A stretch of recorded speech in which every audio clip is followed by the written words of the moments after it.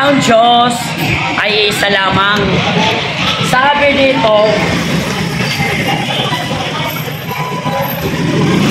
Sige.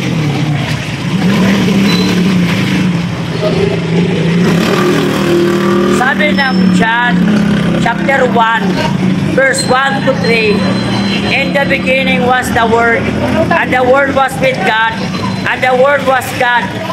The same was in the beginning with God. All things were made by Him, and without Him was nothing anything made that was made. Verse 14, And the Word was made flesh, and dwelt among us, and we beheld His glory, the glory of the only begotten of the Father, full of grace and truth.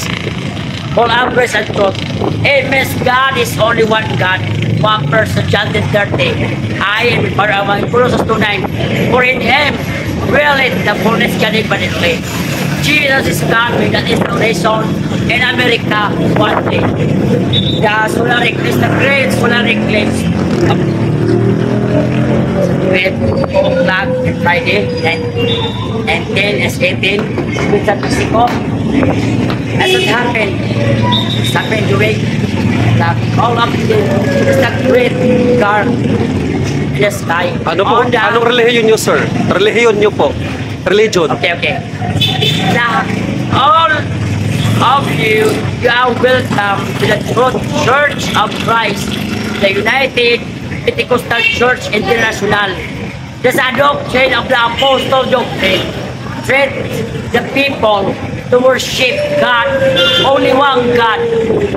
But, but, and according to the word of the Lord in Acts 2.38, Then Peter said to them, Repent and be baptized every one of you in the name of Jesus Christ for the remission of your sins, and you shall receive the gift of the Holy Ghost. Amen. Marcos 16, 17, 18. He believeth shall baptize shall be saved, but he that believeth shall be done. The people that believe in the true way of the Lord, great to the nations. The people that believe it to the word of the Lord, to the nations, because anybody God created them, He believed Him is the only one God, one person. Jesus is the only way. Jesus is the way, the truth, and the life. No one's come to the Father except Him. Especially, that is the teaching of the prophet and apostle. Believe in the only one God. One Lord. Only one God.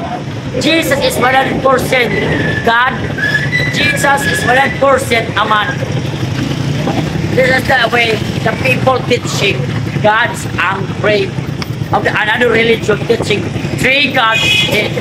The Lord God is only one God, one person, and there's no another God beside Okay, sir. Ano panawagan nyo sa mga tao, sir?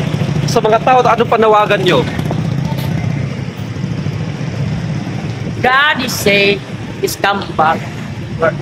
I know God wants both of them to repent their sins and to becoming believe is the only one God and receive this the Holy Spirit because that the, is coming. Yeah. The great liberation you read in Matthew 24 the signs of the sun to becoming black and the moon to becoming red. Matthew 24. That is anybody if you believe it, the true, the Bible, our God forbidden us, but also the people and you get the Bible and say, Hey man, hello, hello, receive you as another people receive and resulting of the word of the Lord God. But you read this because the conversations and you are welcome to the United Pentecostal Church National. Every word there Calvario, Sundays, every, every, every 8 o'clock in the morning Sunday. This avenue, it's a Girl Scout building. Okay. Okay. Okay, thank you, sir. Thank you.